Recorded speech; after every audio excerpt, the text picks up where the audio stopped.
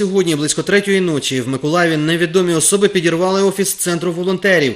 Перші подробиці цього інциденту. Далі у випуску. Вибухівку підклали під вікна. За версією правоохоронців, спрацював саморобний пристрій. Сила вибуху була настільки потужною, що повилітали шибки та розбите скло. На місці події працювали експерти. Попередньо порушена кримінальна справа за статтею тероризм. Втім, пізніше її перекваліфікували на хуліганські дії. ведутся следственные мероприятия, связанные с этим обстоятельством.